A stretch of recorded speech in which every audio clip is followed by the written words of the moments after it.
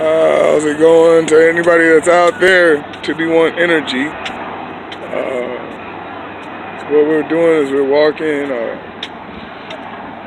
Ocean Beach area, California, Ocean Beach, California, San Diego.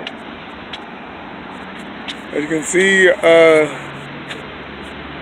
this will be the last day for a while. I don't know how long for somebody to be able to walk on the beach as well as any park. Uh, whatever that means. Um, it's kind of a weird vibration as far as like uh, depending on who, uh, how you looking at all this.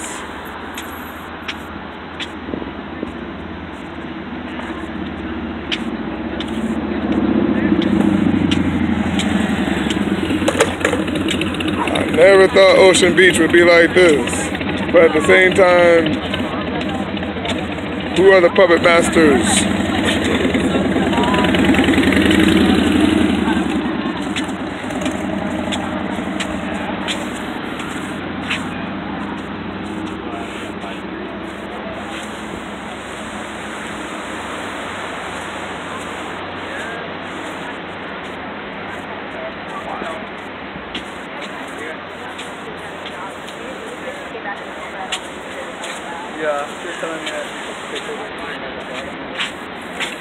My question really is, knowing uh, the air mass travels in different directions, how do we know what area the air mass of what's going talking about? The droplets, yeah, the droplets.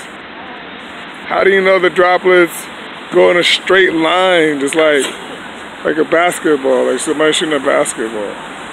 Shouldn't the air droplets from the air mass of the wind and the natural elements, shouldn't they go in different variations? Should it be like that? Or is it like, does it shoot like a basketball? Right into the mouth. Dr.